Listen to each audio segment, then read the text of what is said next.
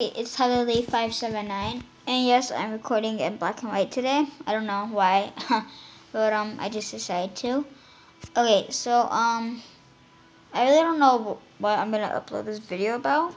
I mean, yeah, um, I mean, whatever you guys want me to, like, just comment of what videos I should do, whatever. But um, June 1st, I'm getting my wire for my braces. And those who are just watching, yes, I got my braces May 18th. See? It's like a dark blue color. And I also got my spacers. Hmm. Uh-huh. I don't know if you can see them, but yeah, I got eight.